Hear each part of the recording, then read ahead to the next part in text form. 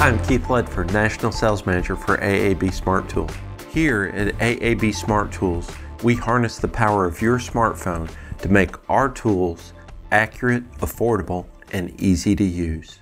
Today we're going to be talking about the TempSmart 100, the newest tool from AAB Smart Tools. An efficient data logging, relative humidity, temperature reading device that can be your eyes and ears in a building when you're not there. Conveniently packaged in a single pack, comes with a quarter 20 bolt, alligator clip attaches to your keychain, or a six pack if you want to data log multiple locations at the same time. So let's get started. So how do we connect to the TempSmart 100? We push the two buttons on the side. Now we have blue light blinking to tell us that it needs to connect to our Bluetooth smart device. It also exposes our sensor to the Airstream. We need to make sure that our device has Bluetooth enabled on it. Now let's go back.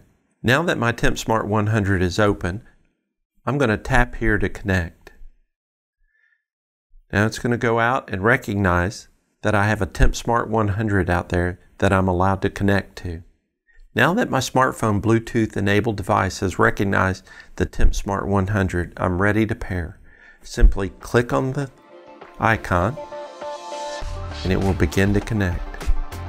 It's as simple as that.